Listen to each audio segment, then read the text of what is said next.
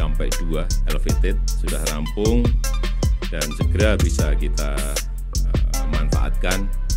Banyak keluhan-keluhan yang masuk kepada saya kalau sudah lewat yang namanya Cikampek Jakarta atau Jakarta Cikampek. Macetnya bisa berjam-jam dan kita harapkan dengan selesainya Jakarta Cikampek 2 elevated ini persoalan itu sudah tidak kita dengar lagi.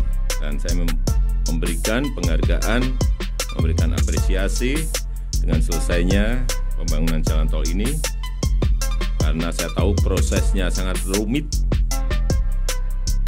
Jalan yang ada tetap harus dibuka dan berjalan di dekatnya ada pembangunan LRT, di dekatnya lagi ada pembangunan kereta cepat, sehingga bukan sesuatu yang gampang untuk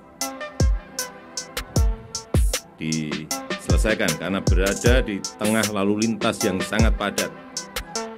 Bayangkan ada 200 ribu kendaraan yang lalu lalang per hari mondar mandir sangat padat dan pembangunannya ada di atasnya. Tapi alhamdulillah semuanya berjalan dengan lancar, sehingga kita harapkan ini bisa mengurai kemacetan,